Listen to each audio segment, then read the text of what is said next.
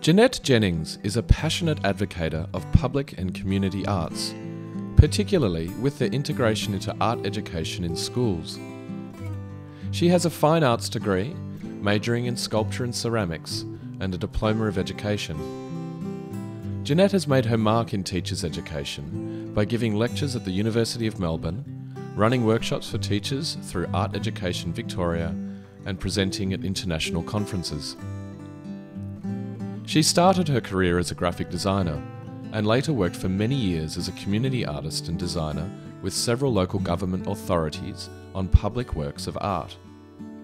At present, she works as a specialist art teacher and community artist in Melbourne, Australia.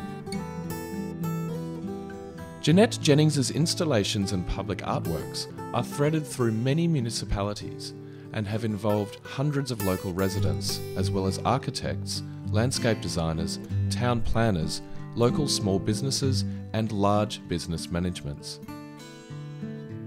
The following film outlines public environmental works of art produced through collaborations with some of these business groups, community residents, schools, and local government authorities.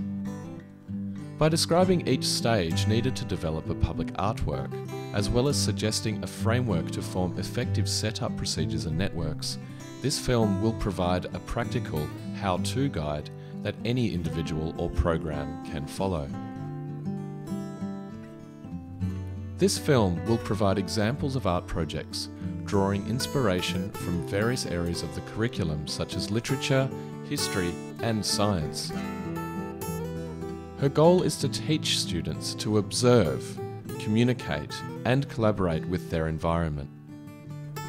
Learning cooperation developing listening skills, and accepting of others' opinions and ideas are crucial life lessons. She believes that the more links that students can make, the richer their educational and artistic experience will be. The following three projects provide a rich example of these possibilities.